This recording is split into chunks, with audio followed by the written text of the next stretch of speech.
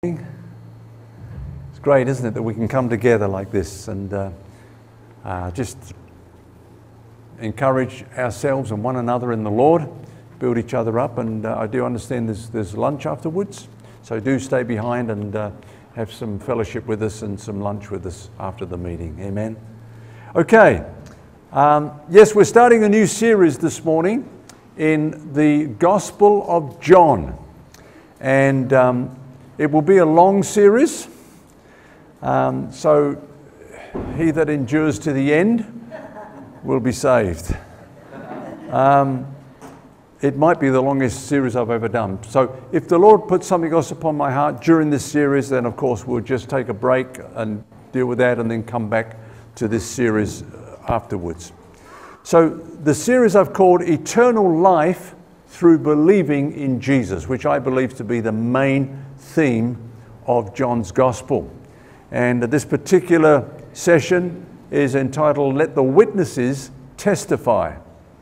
Now, whenever you study a book in the Bible, whether it's a, a, gospel or one of the epistles or whatever it is, it's always important to ask, what is this about? What's, what's the purpose of this book? What's the context?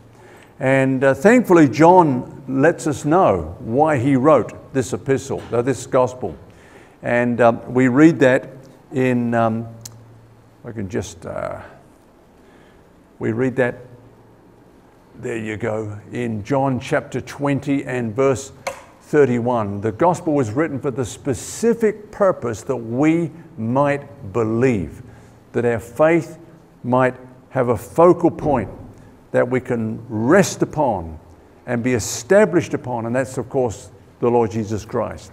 John says, These are written that you may believe that Jesus is the Christ, the Son of God, and that believing you may have life in His name. Amen. So, belief is a major theme in John.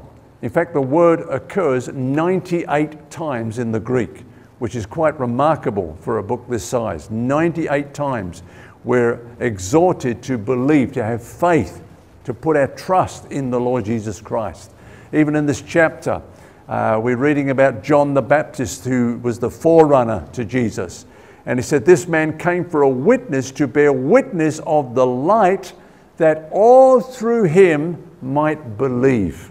So you get the picture. John is writing this so that we might he might build our faith, encourage our faith to center and focus upon Jesus. Now, what is it he wants us to know? Let's just go back to that verse in John chapter 20, verse 31. These are written that you may believe that Jesus is the Christ, the Son of God. Okay, so Matthew, Mark, and Luke were all focused on what Jesus taught and what he did but John focuses on who Jesus is. He is the Son of God. Now, this is important. He is the Son of God. The Son of God became the Son of Man, so that sons of men might become sons of God. This is the glory of the gospel. And in fact, you, you will appreciate the gospel more as you understand who Jesus is. Amen. You will see the glory of the gospel in the glory of the Son Himself. So, right from the beginning, then, John speaks about the deity of Christ. He says, In the beginning was the Word, and the Word was with God, and the Word was God. He was in the beginning with God. Amen. So he's referred to, Jesus, the Son of God, is referred to as the Word, or it's the Logos is the Greek word. So to the Greeks, the Logos or the Word was the mind of God controlling the world and everyone and everything in it. God brought everything into existence through the Word. God sustains and upholds all things by the Word of His power. And Jesus is the Logos, the Word. So to the Jews also, this had great significance. In Revelation chapter 1, verse 8, Jesus is referred to as the Alpha and the Omega.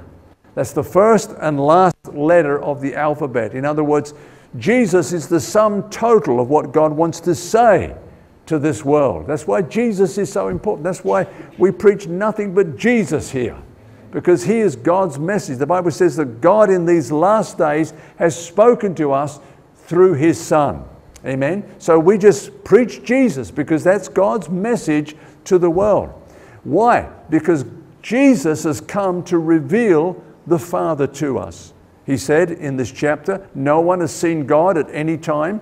The only begotten Son who is in the bosom of the Father, he has declared him. Now, that phrase declared is a very expressive term in the Greek. It means he's explained him. Jesus has come to explain this is what the Father is like. Amen? You know, it's the same word that was used um, when the two disciples were on the road to Emmaus. And you know what happened? It was a, just a beautiful time for them. Jesus drew alongside them and, and calmed them down and began to expound from the scriptures, beginning with Moses and the prophets, all things concerning himself. And then he broke the bread, and their eyes were opened, and they saw him in the breaking of the bread. And then the Bible says that when they reached their destination, they explained these things, they declared these things. So that wasn't just like a, a quick summary, they went into detail, they unfolded these things to the others. That's the meaning of that word. Jesus has come to explain the Father, to show us what the Father is like. So, any other image we have that is not consistent with the person of Jesus revealed in the Gospels is a false image. Amen. Now, let's go back to this then. In the beginning, in the beginning, the Word existed, Jesus existed, or, or the Son of God existed before creation or time. Jesus said at the end of his ministry, And now, O Father, glorify me together with yourself with the glory which I had with you before the world was. Amen? So before anything was there, Jesus was there. The Son of God was there. The, the Logos was there. In the beginning was the Word, and the Word was with God, and the Word was God. He was in the beginning with God. Now, that verse, or those two verses, set forth two powerful doctrines, okay? The doctrine of the deity of Christ, that Jesus is fully God. Amen? Co equal, co eternal with the Father, fully God. But it also tells us about the Trinity. There's more, more than one person in the Godhead the, the Word was God and the, the Word was with God. Okay? So that talks about the Trinity. So John's logic is this, this there is a being known as the Word or the Logos. This being is called God, yet at the same time is distinct from the Father. Okay? Now, Martin Luther says this the Word of God is against Arius. I'll explain this in a minute. And the Word was with God is against Sabellius. What does that mean? there were, there were false teachings that started to come into the church after the New Testament age. Okay? The first one was called Arianism, named after this man Arius. And he taught that Jesus is not God. Jesus was a created being. He was the greatest created being, he said, but still, nonetheless, he had a beginning. He was created by the Father. Now, that's a wrong teaching. That's the teaching that is taught by the Jehovah's Witnesses today. And so we have to stand against that. We have to, we have to be educated against, you know, why this is wrong. Because what it's saying is that God used a created being to save other created beings who had fallen. That is not the same. Only God could save us. God had to step into humanity himself become a man, become one of us, take upon himself human nature, live as a man, though he was still fully God, fully man at the same time, and die in our place. Only God could redeem us. Amen. Salvation is of the Lord. He didn't send another created being to do the job, He came. God with us. That's what Jesus is called. Emmanuel, God with us. Amen.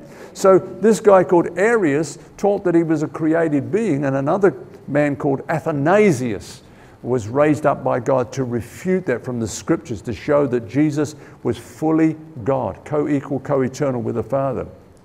But then there was another false teacher called Sabellius, and he taught that there was not a, there were not three persons in the Trinity, there was only one person.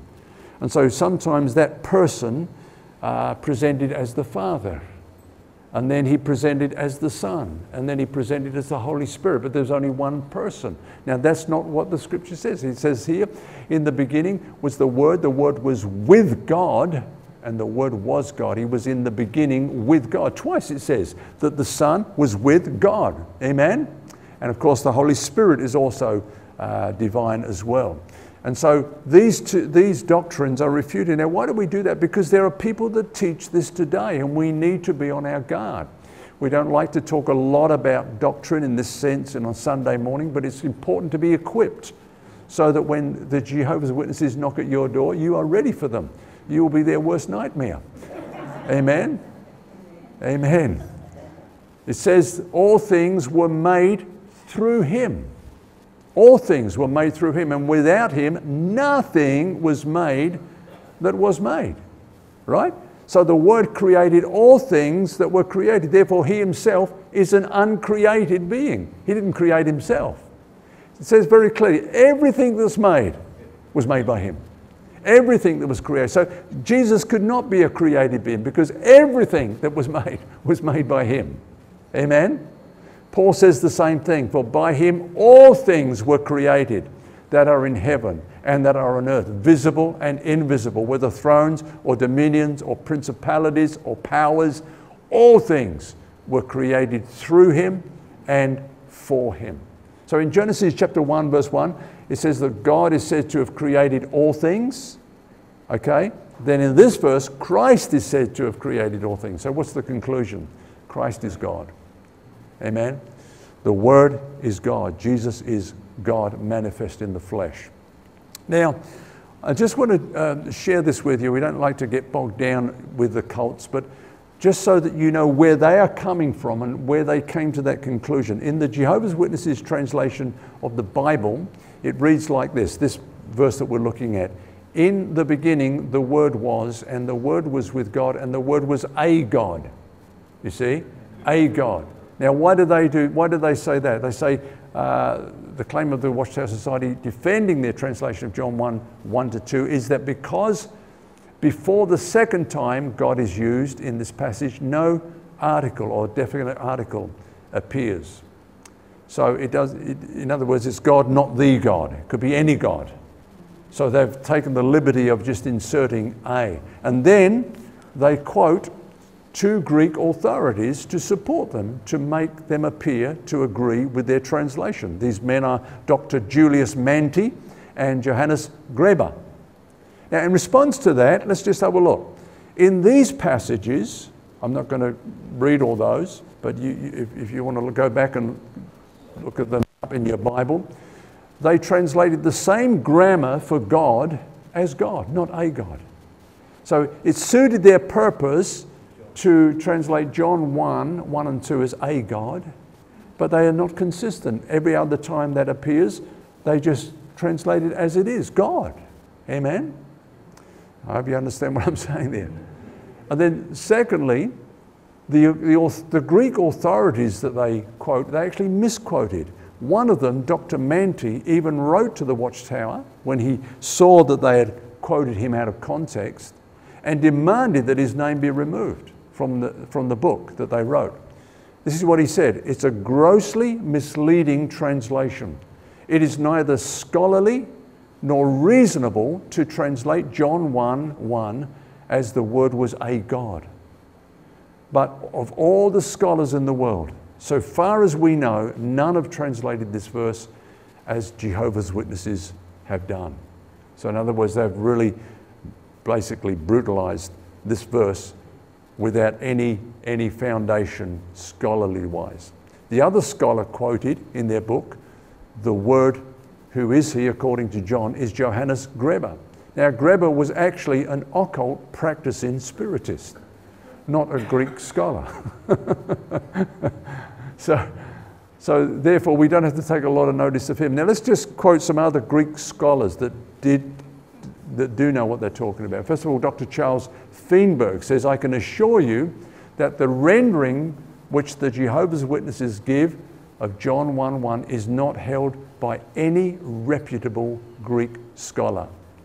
Dr. Paul Kaufman, who I've had the pleasure of meeting, by the way, he said this the, the Jehovah's Witness people evidence an abysmal ignorance of the basic tenets of Greek grammar in their mistranslation of John 1 1.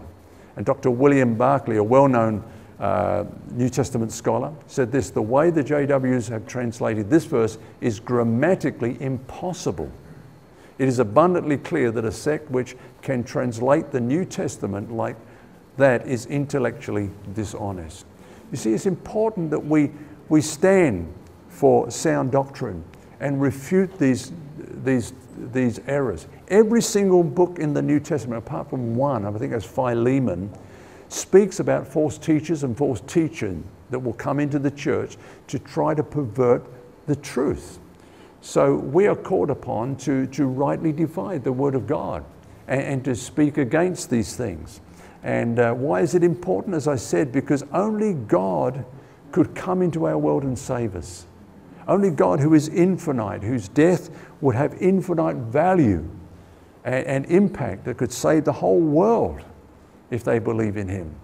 And that was, of course, God manifest in the flesh through our Lord Jesus Christ. Amen. Now it goes on to say, In Him was life, and the life was the light of men. And the light shines in the darkness, and the darkness did not comprehend it or overcome it, is the word there. So the Logos is the power which creates life and maintains all life in existence. Amen? The Logos is the source of all life on earth. And that word translated life is Zoe. You've heard that word many times, Zoe, which means the life principle, not bios, which is mere biological life. But what, what do we mean by Zoe? It means a life as possessed by the one who gave it, which has the power to reproduce according to its kind. Now, this is a wonderful thing the miracle of life itself on planet Earth. Every life form, whether it's the fish that swim in the seas or the rivers, whether it's the birds that fly in the air, the trees in the forest, the flowers in the garden, the animals that stalk the earth, whether it's human beings, every life form has power to bring forth after its kind. And so perpetuate life on planet Earth. Where did this come from? This came from Jesus, the Son of God. In Him was life. This didn't come from some single cell amoeba, you know, wobbling about in some slimy pool that suddenly, wow, look at all this that's around us. That, that's quite incredible, wasn't it? No, this came from God, the Son. Amen? In Him was life. And it goes on to say, and the life was the light of men. How is Christ, as the life, the light of men? Well, every human being is morally enlightened we have what we call a conscience. We're made accountable. How do we get a conscience? Well, God didn't actually create us with a conscience. He created us and said, just don't touch that tree there, the tree of the knowledge of good and evil.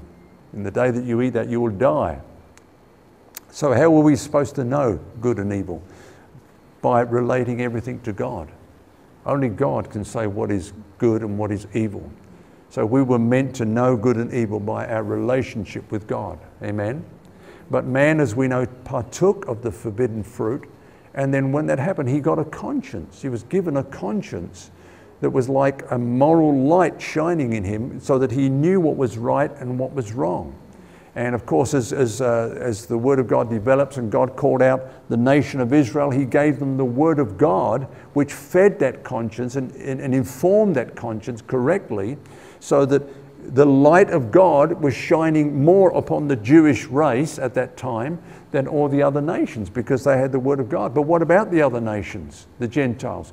Well, this is what Paul says about them. When the Gentiles who do not have the law, by nature do the things in the law, these, although not having the law, are a law to themselves, who show the work of the law written in their hearts, their conscience also bearing witness and uh, between themselves their thoughts accusing or excusing them. Every nation has a has a, you know a moral understanding of what is right and what's wrong. It's wrong to murder. It's wrong to steal, and all those sort of things. And they know what's right and what's wrong. It's written on their heart. They don't have the same revelation as uh, the Jews had because of the Word of God, but nevertheless, the same law is written upon their hearts.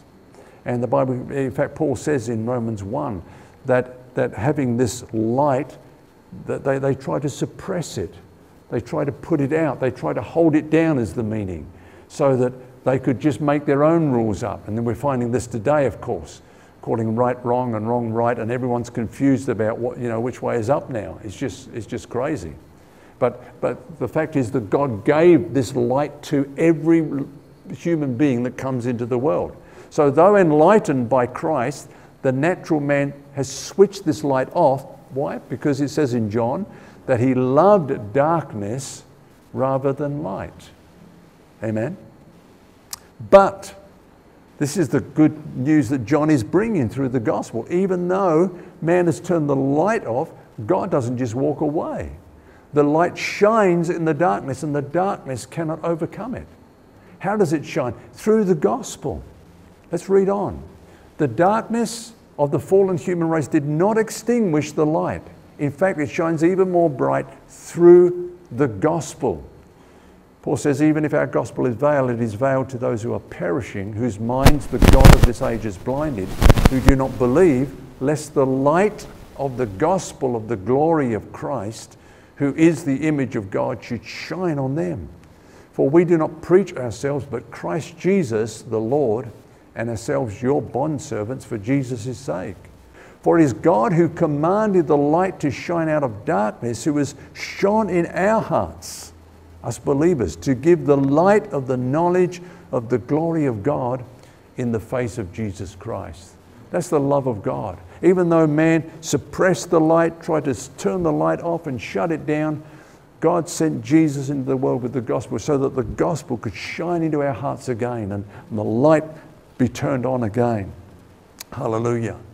Now, we come to John the Baptist, where um, John says this There was a man sent from God whose name was John. This man came for a witness, to bear witness to the light, that all through him might believe. Now, we know him as John the Baptist, but he's repeatedly presented to us as a witness to Jesus, the one who is to witness to Jesus. This is the light, this is the Lamb of God who takes away the sin of the world, to point him out, as it were.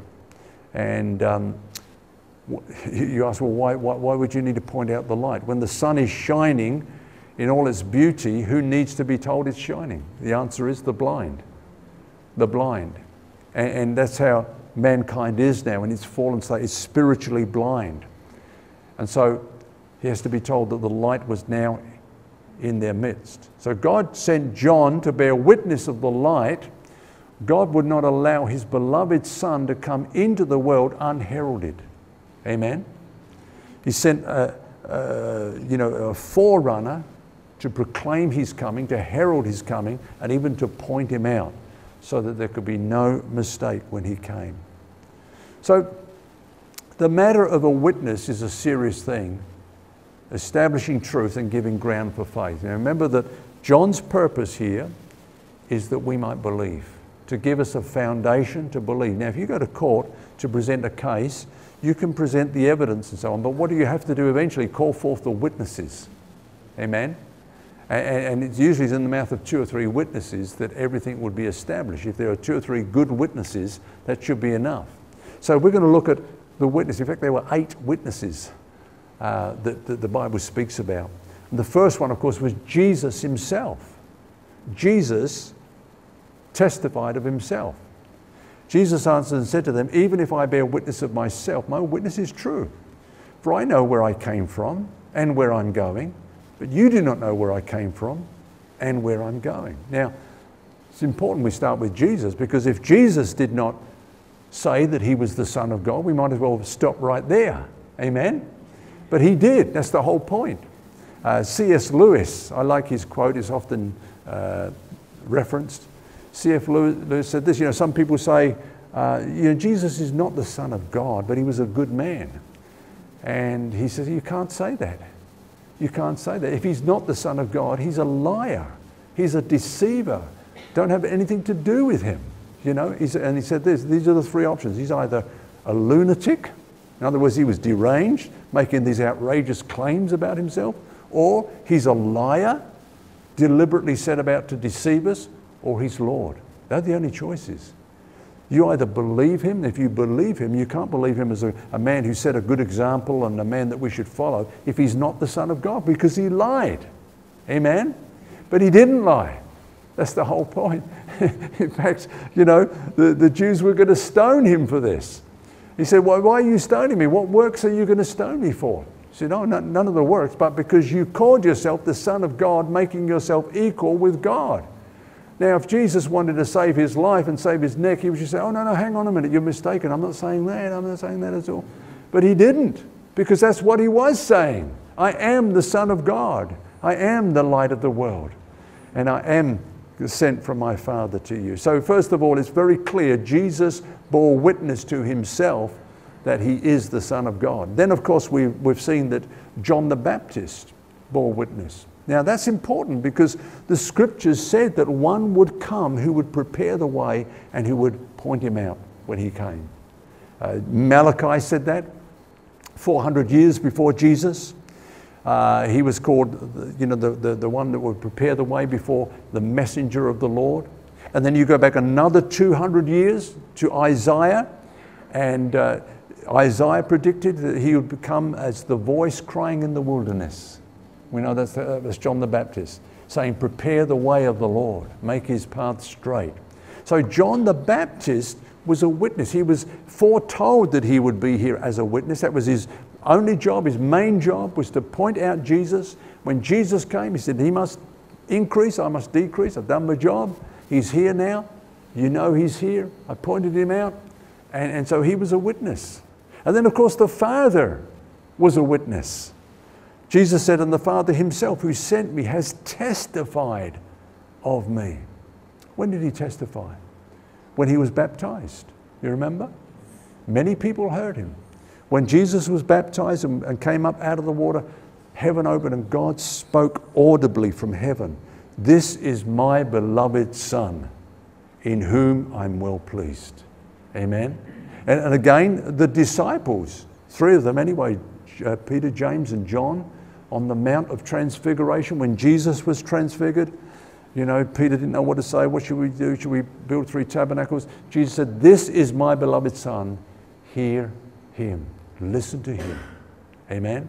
He, the Father bore witness, and greatly, uh, most of you know, great, uh, the greatest witness, if you like, that the Father gave of Jesus is when He raised him from the dead.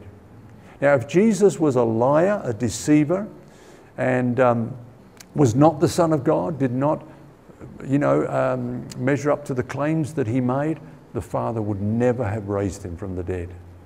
But by raising him from the dead, he endorsed him, bore witness to Jesus.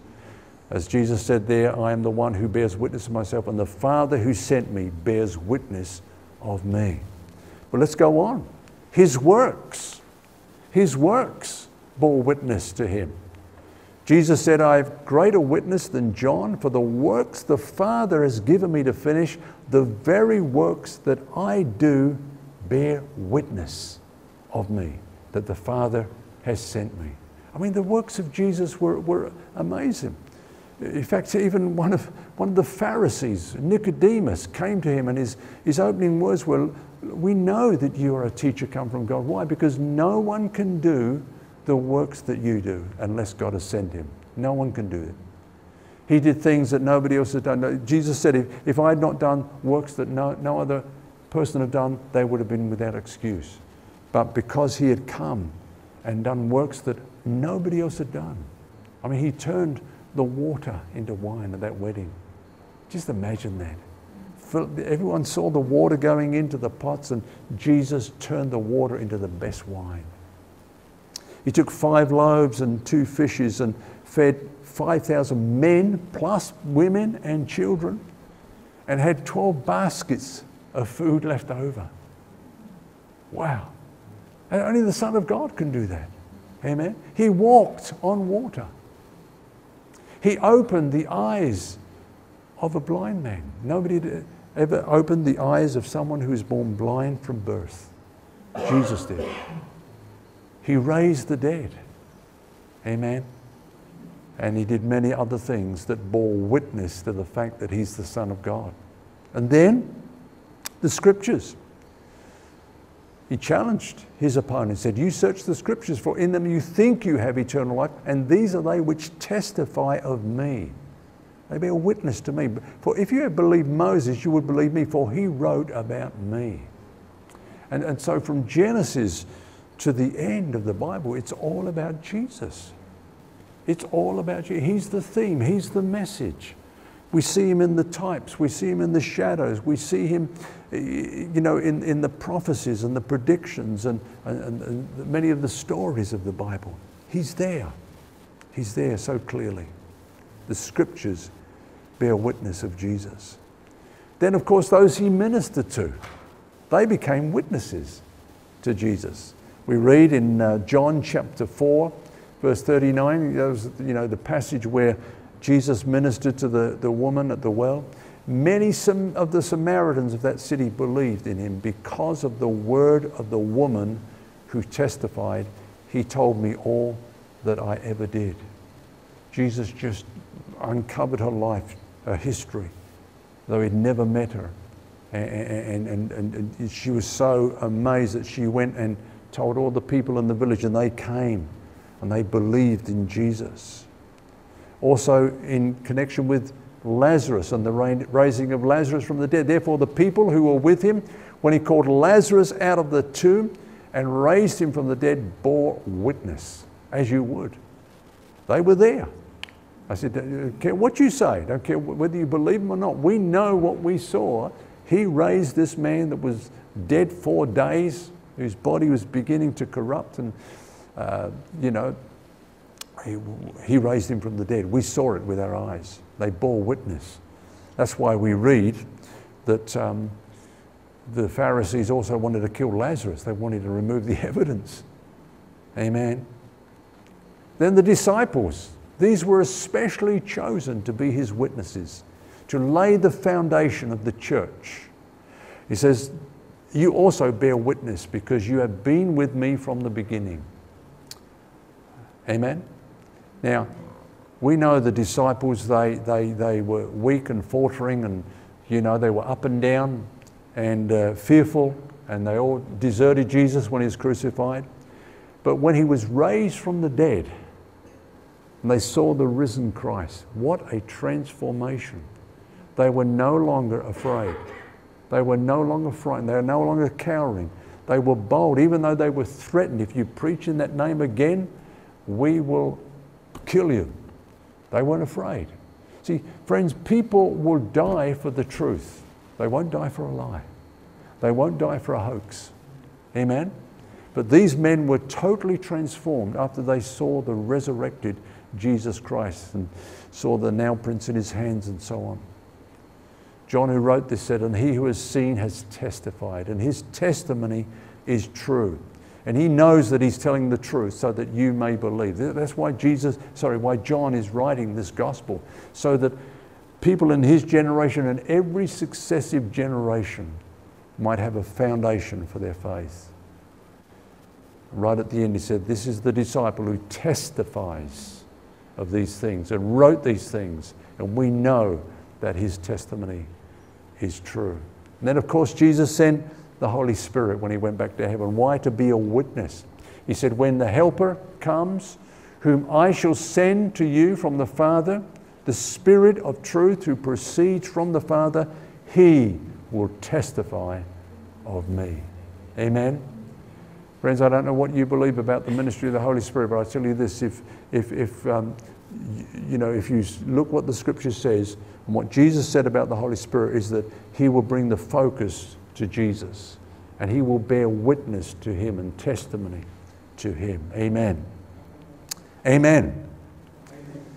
So let's come back to John as we just wind up here uh, this morning. He says, He was not that light. John was not that light, but was sent to bear witness of that light. That was the true light which gives light to every man coming into the world. Amen.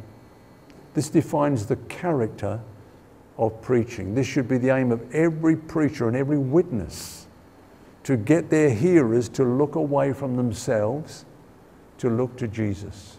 Amen. You know, I, just think it, it appears that some preachers are trying to build their own ministry, establish their name, and build almost their kingdom. And that's, that's, that's going to crumble. Anything that's not focused on Jesus will crumble. Amen? That's our message. He is to preach Christ. Paul says, God forbid that I should preach anything but Jesus Christ and Him crucified. He is our message.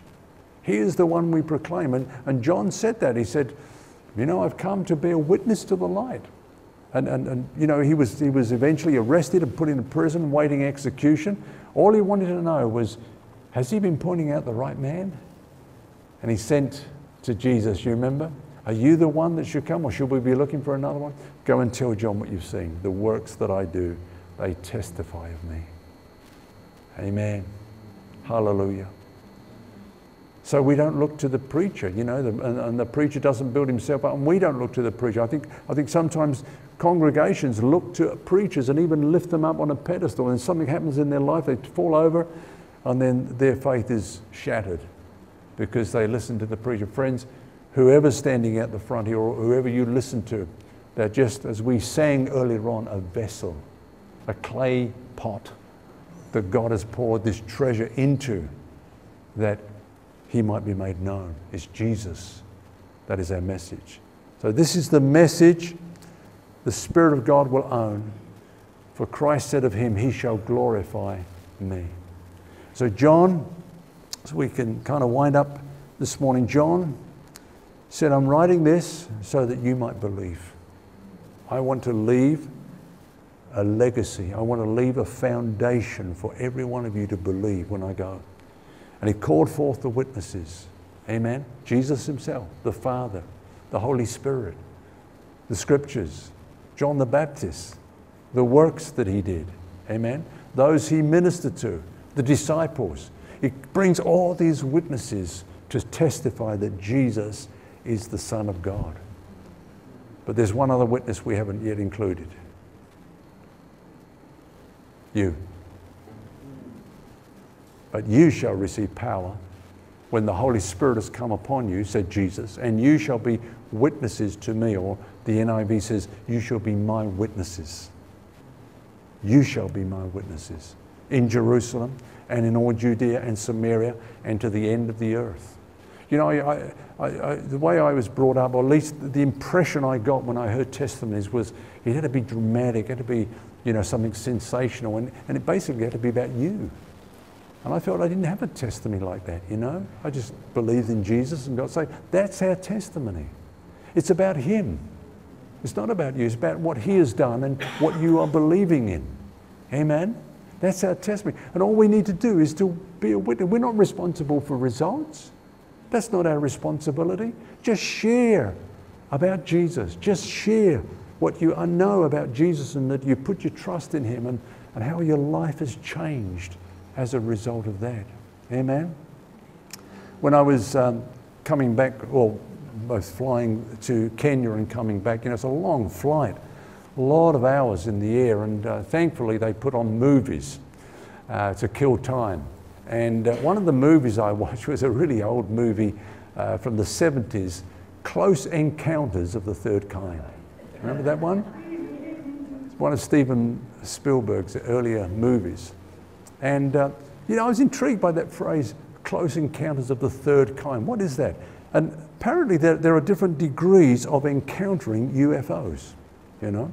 The first is if you see one within a range of 150 meters or 500 feet, then that's a close encounter of the first kind. Now you try to tell others that you saw that, if you may even have a photograph, and many people try to, you know, explain it away and uh, say it was a mirage or it was this or that and so on. But, but you saw some evidence of a UFO, you think, okay?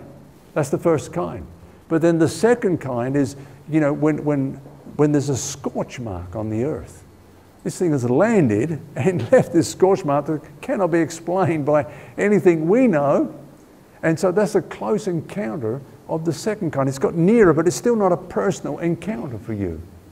But then there's the, the third kind, which is where the, this movie ends up, where these UFOs come to Earth and land, and the aliens step outside, and you've had a close encounter of the third kind, face to face. Okay? Now, you know, it's like that. I, I think about it, it's, it's, a little bit like that as a Christian. You know, we, we, we have many evidences that kind of witness to Jesus. You know, we, the first kind is like you look at creation, just amazing. Like we're saying, life itself is not an, it cannot be an accident. And, and, and you look at everything about creation, there is design. It's not an accident, there's careful design, and so there must be a designer. And, and you look at the, the heavens and the, you know, this universe, and you think, there's a power behind all this. There's got to be. But that's, a, that's like a close encounter of the first kind, if you like. But then you might meet someone who has had an experience with God, who's, who's been born again, and you see their life has changed. But it's not for you've, you've not had that experience, it's secondhand to you, right? It's like a close encounter of the second kind. But then there comes that beautiful time when you hear the testimonies and that's how we get saved.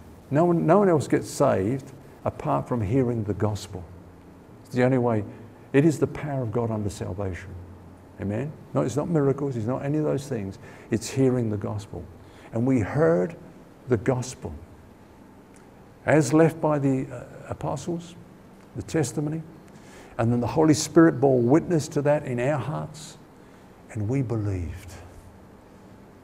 And guess what? We had a close encounter of the third kind. We had our own personal experience with God. It began a personal relationship. I want to say, if anybody's watching this who, is not a believer, who is not a believer, you've heard the testimonies, the eightfold witness bearing testimony that Jesus is the Son of God. What's your response to that? He that believes has eternal life.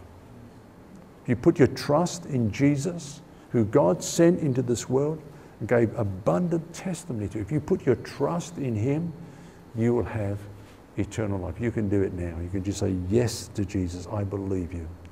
And then just watch the miracle unfold. Watch God's light come into your life. Watch your life change and, and be transformed by the power of the Holy Spirit. Amen? Amen. Let's pray together.